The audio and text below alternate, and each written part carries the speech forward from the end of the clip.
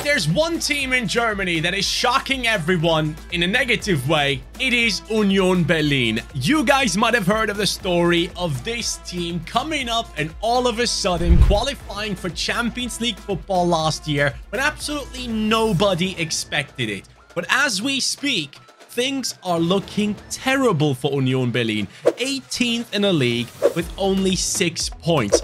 And that is not all. Since they did qualify for Champions League football, they are obviously in the group stages. Real Madrid, Napoli, Braga, all of them are now currently situated ahead of them. So clearly, things are going horribly wrong for a team like Union Berlin, who somewhat became everybody's favorite second team in Germany right now because everyone just loves the story of the club. I mean, there are stories that I mentioned in my previous rebuilds of this team where basically the fans donated blood together to gather money to try and help the team pay off their debts. So this team is legendary and sadly they have just let go of their coach and it was a sad moment for the fans and the coach himself as well. But now it's time to rebuild Union Berlin and try and take this team back into Champions League level football. Yo, what's up?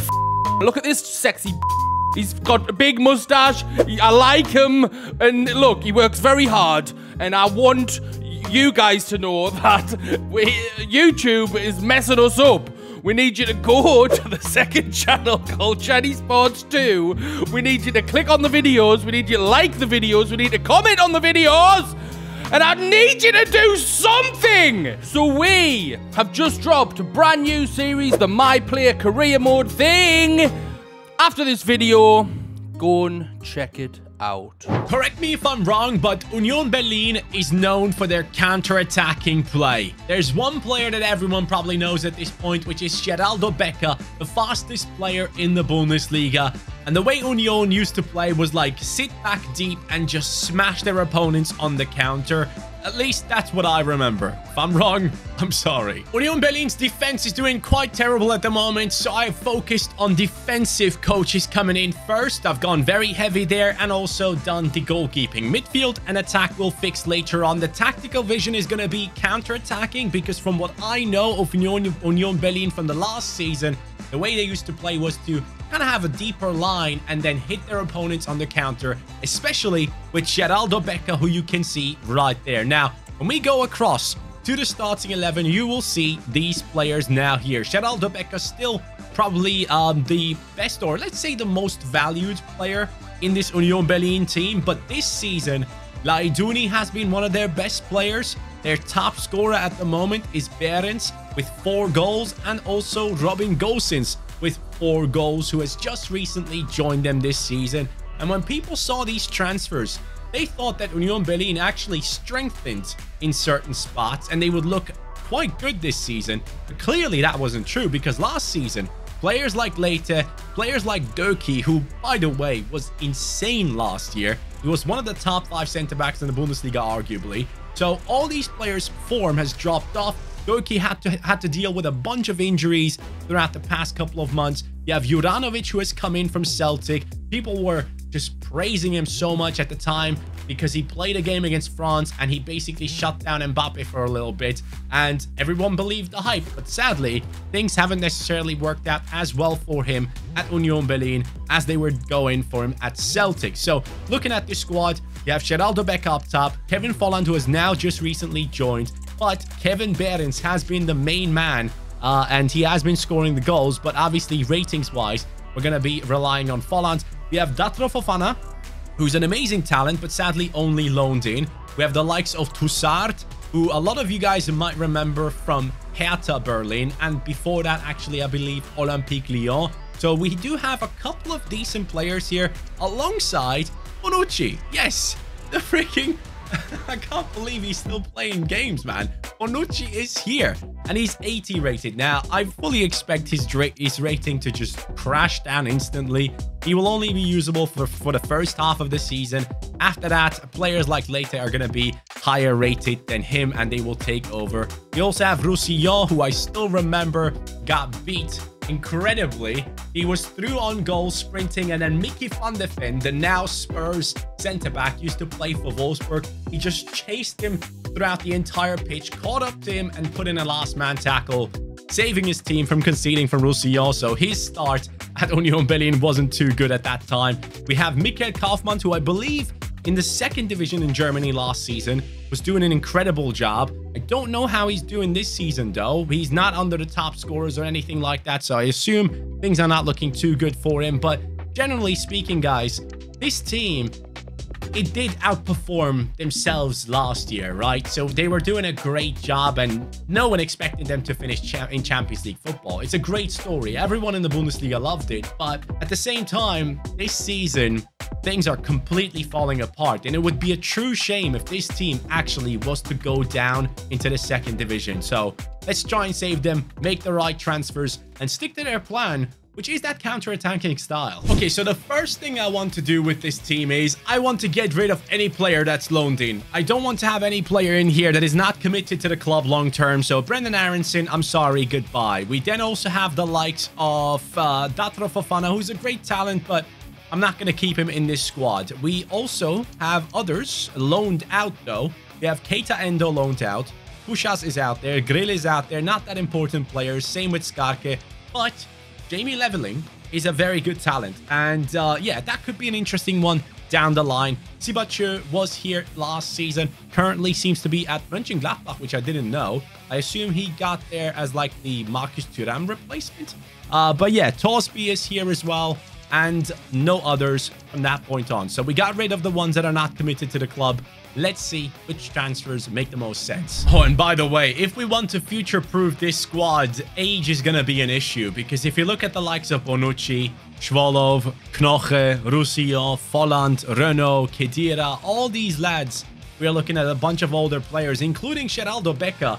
I'm going to keep him for as long as possible, but some others here could turn into an issue very soon, but we will focus on the oldest ones first and try and make the right decisions there. For me, ideally, I want to have a tall striker next to Sheraldo Becker so he can head the ball along the pitch so Sheraldo can pick it up and run through. So for that reason, I am going for Terem Moffi. This guy is a 6 foot 2 tall striker.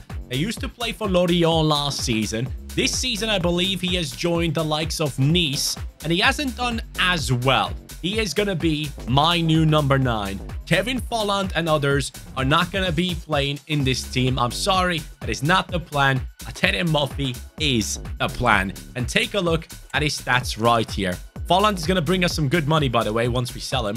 But Moffi, 91 pace for a 6 foot 2 tall player. So pace, counter-attacking, that fits perfectly. He's left-footed. Let's put him on the left. 77 shooting, 72 dribbling, 77 physicality, high attacking work rate from Nigeria.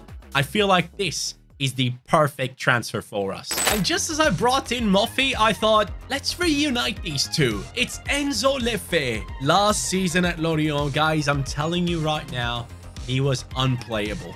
He was one of the best midfielders in the league, uh, and now he has joined Stade Rennais, and he doesn't have as much responsibility in this team. I don't think he takes the set pieces and stuff like that, and he might be playing a different position as well. But Enzo Le Fée last season at Lorient, alongside the likes of Terem Moffi, he was insane. So, he is coming into this team as a center midfielder. Kevin Volland goes back to Liga plus 12 million on top of this deal. And Tousart, I'm sorry, but I don't plan with you because Laidouni this season has the most assists in this Union Berlin team. And I want to give him the playtime over someone like Tousart, who is coming from their rivals in the city, which is Hertha Berlin. So Enzo Le Fée is now here, right-footed, four-star skill moves, three-star weak foot, and he is going to be playing some great passes into the likes of Becker and especially Moffi, just like I did at Lorient. And I'm already loving this rebuild. So after making all those transfers and changing a few things up, let's take a look into the team and how it's done in the first season. Fifth! Would you look at that, guys? That would be an incredible achievement. I I'm, I'm genuinely being honest here. If you told me last season, when Union Berlin finishes in Champions League football, and then the season after they get European football once again, it doesn't have to be Champions League football. I think any Union Berlin fan would have taken that. This is incredible. Fifth position 58 points on us. Bayern Munich obviously win the league title. It's going to be a battle to try and get up there and try and beat that Bayern Munich side because they have so many incredible young talents in there as well. The likes of Alphonso Davies, Musiala to say the least. So I am very scared of that Bayern Munich squad. But now, let's take a look into the team. Oh, look at that. Moffi, 81. I think that's a plus four. Sheraldo Becker, only a plus one. Enzo, great growth. Kral, I turn into a center mid, and it's worked really well. Laidouni, sorry, is uh, on a 78 and unhappy. I assume Tousart, yeah, Tousart has been taking play time away from him. I have just now accepted an offer for him, though. So hopefully Laidouni is not going to be too unhappy for too long. Bonucci has gone down by only plus a minus two, which surprises me. Doekhi up to an 80. Lovely. Juranovic with a plus one. Leite plus two, I believe. Gosens has gone up to an 80. Some incredibly well-rounded stats. And we lost our goalkeeper. What the hell? Who the hell bought my... Bro, okay. Well, we lost our goalkeeper who would have been 32 years old anyways, or 31, 32, something like that. Next season, we'll have to bring in a new one. I didn't even realize, but let's see, uh, let's see once again here in the stats. Moffi, 15 goals. Great stuff. Gosens, 14 goals from left wing back. Wow. Sheraldo Becker, 12 and 5. But that's kind of realistic, you know, because he's one of their top goal scorers this season. So can't say anything against it. Kral, 7 and 12. Schaefer, off the bench, 5 and 10.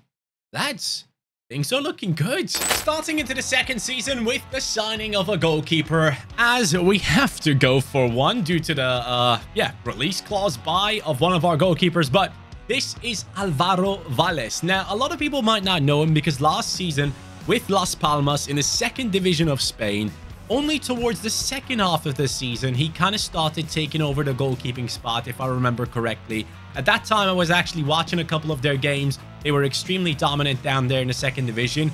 And now, this season, Las Palmas is doing better than most people expected them to do. And he is one of the main reasons for that. He's doing a great job as a goalkeeper. I believe Las Palmas also have a very talented centre-back that came in from Andorra with the name of Mike Marmol. Possibly one of the bigger Spanish centre-backs. Watch out for that one. But uh, Alvaro Valles is now here. And he is 80 rated. That's lovely. 26 years old, perfect age. He can be here for a long time, and he's six foot four tall. This guy is someone that could make a big move in the future. So keep watching out for this one. This is like the type of goalkeeper that could end up at like a Brentford, for example. Since Bonucci is getting old and dropping in rating, it's time to bring in a new centre-back. And since we have been able to bring in some great players from Liga, I thought let's continue that trend. This is someone from Lens, another team that has surprisingly qualified for Champions League football, if I remember correctly. I think they're in the group with PSV Eindhoven. Facundo Medina is now joining us. This is someone that probably not a lot of you guys know, but he's actually very high rated in this game. He starts off at like, what is it? I'm, I'm checking it right now. 80, actually. He comes in with an 81 for us right here. A left-footed centre-back. I believe Leite has a better weak foot, so we're going to take him over and across to that left centre-back position.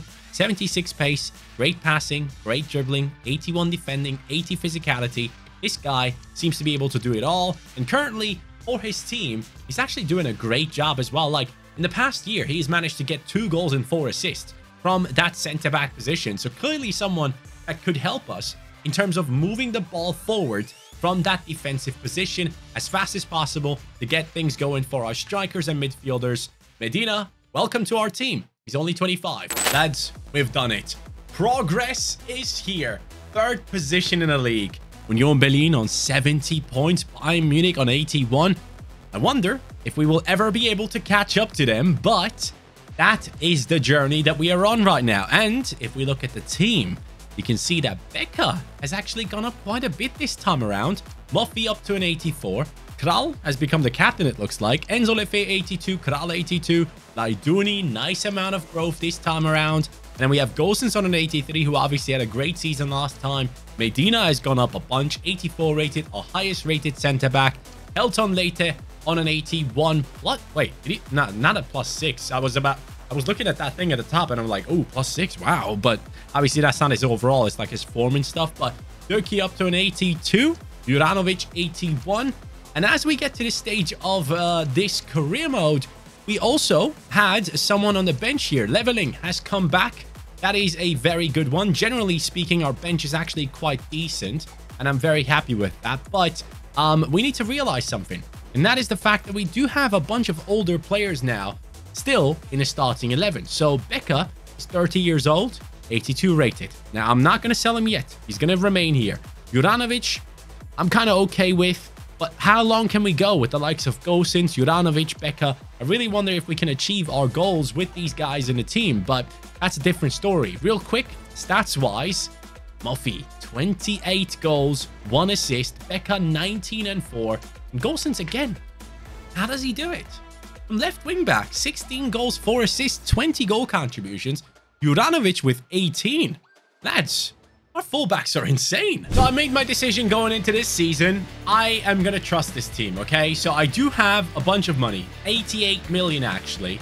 But I feel like to be able to spend that much money on a transfer, we need to go ahead and prove ourselves once again that we are a Champions League club from the Bundesliga. So I'm going to go for another season with this team. And then after that, we can go spending. Well, I am madly proud of this team because as you can see right here, we made it to the Champions League semi-finals and lost to PSG 5-1. Got absolutely destroyed. I get that. But at the end of the day, to take this team that far without any massive, massive signings, I'm actually really happy about pulling this off. But getting to the semi-finals now means that a lot more teams, a lot more players all around the world should know that this team is one to take serious and this is a project that they would want to join. So hopefully we can spend the big money coming up soon and then get to the finals, which we miss out on this time. But in the league, we had a unique chance.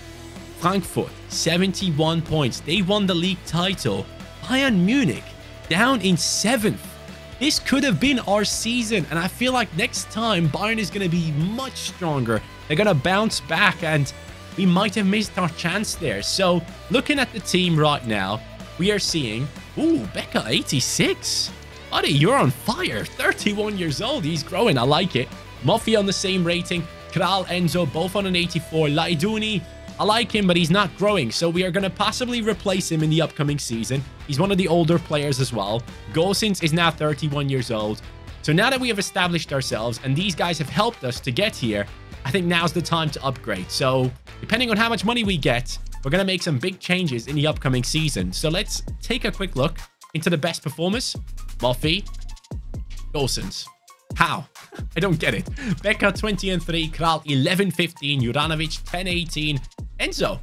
Why why only 3 and 3? That is a bit disappointing, I have to admit, but hey, guys, an incredible year and we have established ourselves as a Champions League club. Since we are a couple of years into the future, at this point, Chelsea should still be somewhere in League One or the Championship. I mean, based on all the financial issues, they are getting relegated, right? So I'm going in for one of their players. Moises Caicedo, I am now rescuing you from Chelsea, who probably are going to go down alongside Manchester City. I don't know, man. All this stuff is crazy to me. Everton have gotten 10 points uh, for violating something where they paid, like, where they breached financial regulations by like 20 million. And already there are talks about Chelsea having an offshore firm in Cyprus where they were paying players and coaches and stuff on the side giving them millions for basically giving like giving them the opportunity to make sure they can give those people money outside of the system that the financial fair play sees. So yeah, it's not looking good for Chelsea, guys. I'm going to be honest with you. And it is going to be a massive shame to see stuff like that happen is bad. I don't want any club that has established themselves at the top level to get punished like this. But hey, there's an issue there and they will be looking into it and it's not looking good specifically for Chelsea. Manchester City one, I don't even know what the hell is going on. 115 breaches.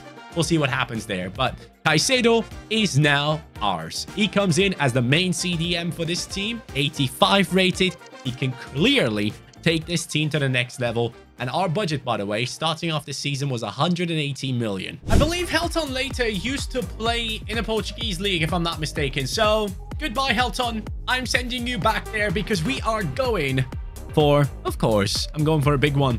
Antonio Silva, welcome to Union Berlin. He is coming in for 37 million plus Helton Leite, and it's not necessarily a big upgrade in terms of rating. By the way, respect to Jaeckel for constantly growing as a centre-back there on the bench. Really well done up to a 79, but here he is. Antonio Silva now comes into the team. He is 83 rated, one of the biggest talents when it comes to that position in world football. And I'm very excited by him. I really wonder who's going to pick him up. But for now, he's going to be part of Union Berlin. This team has gotten past Real Madrid in the round of 16, struggling against AS Monaco a little bit to get past them 6-4 in the end. Who is our semi-final opponent? Manchester United. You know what? I have not played against them this year, I believe. We have beaten them in the first game, beaten them in the second. Now the question becomes, is this a season in which we can win multiple titles? Bayern Munich beats us here in the last game of the season. Champions League final will be against Manchester City, of course. I'm getting the worst one to play against. Oh boy. Both Manchester teams back-to-back -back in the Champions League. In the league itself, please tell me we won it. Third. Ah, just one point. If we would have gotten the win against Bayern Munich, we would have been in that first position. But you know what? We have stabilized Union Berlin as a Champions League club for years, multiple seasons. So I cannot be upset about that. We don't necessarily need to win that. And Caicedo has a red card. What is it with me and Champions League finals and missing one of my best players? He grew to an 88. Laidouni, it's your chance again. 85 pace. Wow, I don't remember him being that quick at all, but hey, he must have grown. So I'm going to put, who am I going to put onto the bench here? Thorsby is the one. He comes onto the bench as a midfield option. But guys, Moffi, 89, Becker, 86, Le Fée, 87, Kral, 87. I initially thought I had to replace Becker and Gosens and possibly Juranovic, but we don't have to. Juranovic, 31 years old, Gosens, 32, Becker, 32 as well. And now with Laidouni in here as well, another one who is past the 30. So I'm actually very excited to see what this team can pull off. Doekhi is 28 as the uh, the one after those older ones. And Jaeckel on the bench. Have you guys seen that just a second ago? He's actually grown to an 81. Is he like a big talent? I don't even know. Honestly, I, I can't tell. But I, I, I don't remember him actually being a big talent in this game. So very impressive to see him grow on the bench. Now, performance, Moffi or Becker? Becker! It wasn't that good of a season, actually, for the strikers. Becker with 18 and 11. That's not bad, okay? That is 29 goal contributions and 40. That's pretty impressive. Gosens I'm not even surprised anymore. Moffi with only 14 goals and zero assists. That is a bit of a letdown, but if he can step up in the Champions League final, it will all be fine. Caicedo was missing with the 10 and 6, sadly. Kral 7 and 13. Medina, the centre back, who actually gets goal contributions in real life, has gotten six goals and three assists right there. So that is very impressive. Guys, it is now time to take on Manchester City. And I do wonder, who do they have in their team this far into it, They have Haaland, Foden, Rodrigo. I hate that already. Uh, Rodrigo, I don't know what it is. I can't play against him. Matheus Nunes ahead of the likes of Rodrigo and Pedri. Oh my god, bro. Sergio Gomez left back. Okay, I can deal with that. But then Min-jae, Ruben Dias in that centre-back pairing. Hakimi as a right back and Ederson in goal. But I'm telling you right now, I'm getting beat. Definitely. I am going into this final full well knowing and understanding that we are the underdogs. But Union Berlin were the underdogs last season and got Champions League football in real life. So we are understanding what it means to be the underdogs and still win. So here we go, lads. Gosens, I expect a lot from you because your stats have been incredible. Oh, what the hell is Moffi doing with these guys? Hold on a second. Oh, bro. Did he just put that through the legs of the player who was on the floor? Moffi. Lovely little touch. Impressive stuff. Moffi into Kral. Uh, oh, he still scores with his back to the goal. Kral in Turkish actually means king, by the way. So this is the new king of Manchester City. He owns that club. Dangerous. Very dangerous. Phil Foden cuts in. Haaland now kind of open. Laidouni trying to get in between. Rodrigo. Of course. Just like he does for his team in real life, this man scores goals when it's most needed.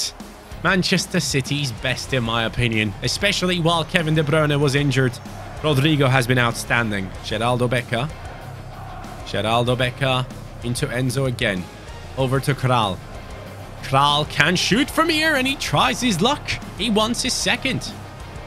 Ah, come on.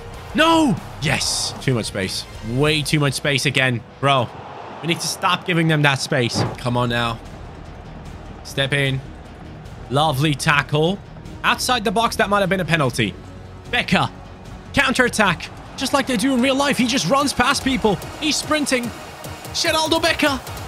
My man has now scored. The typical Union Berlin way. The opponent overloads our half and we find a way to run through with the fastest man in the Bundesliga. He probably competes with the likes of uh, Alphonso Davies for the paciest player or possibly Karim Adeyemi as well. But Sheraldo Becker down the right wing, sprints inside and scores. What more do we want? Ah, uh, Haaland gets the pass on Rodrigo and they are failing, I wanted to say, and I thought that was in. City in the second half. Oh, that tackle is so big. And here we go again. The counter has started. Haaland is on the floor. Rodrigo gets the ball off of Laidouni, who I thought could just sprint through due to his amazing pace now. And Laidouni still fights for it and gets it back, actually. Over the top.